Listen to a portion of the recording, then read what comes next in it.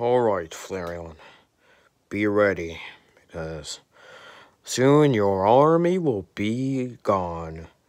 Don't know how, but my useless team could do it. And if they can do it,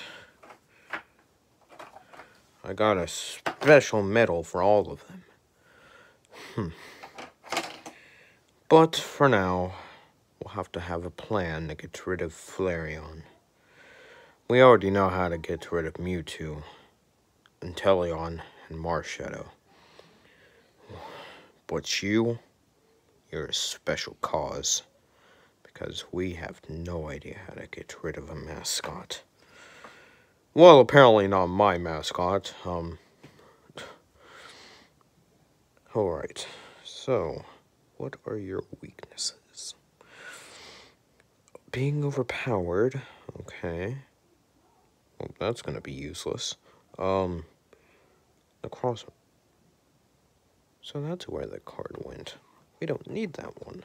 The Necrozma can just overpower him. Hmm. Maybe we shouldn't betray them.